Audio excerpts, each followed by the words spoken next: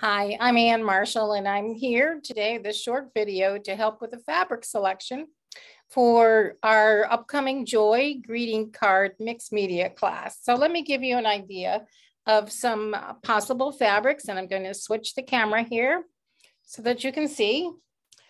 I've got uh, something that I call squared off pieces. They're really not quite squared, but let me um, pull some out and just give you an idea. So this is really nice. In terms of its size and shape, I like using batiks. Here's some kind of um, uh, dyed fabric, silk, more silk, um, somewhat some something that reads as close to a solid.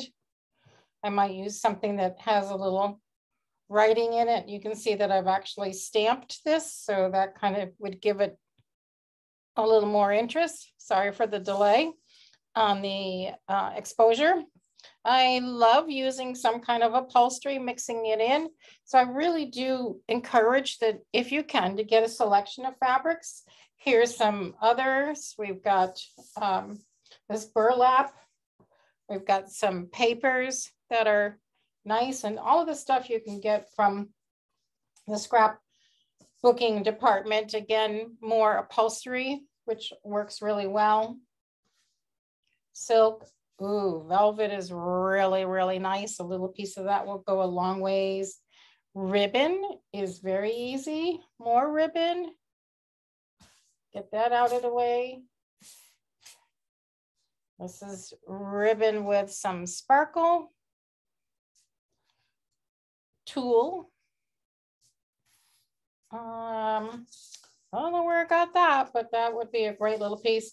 And I really do like using sheers. Um, so some sheers would be really helpful. And again, here's some specialty paper. So you don't need a lot, but a variety will do. Notice I didn't have a lot of big prints or uh, big, bold, contrasting colors, but that will just give you an idea. Get what you can borrow from, from friends and family, uh, cut something up that has stains in it, and, and certainly look forward to seeing you soon.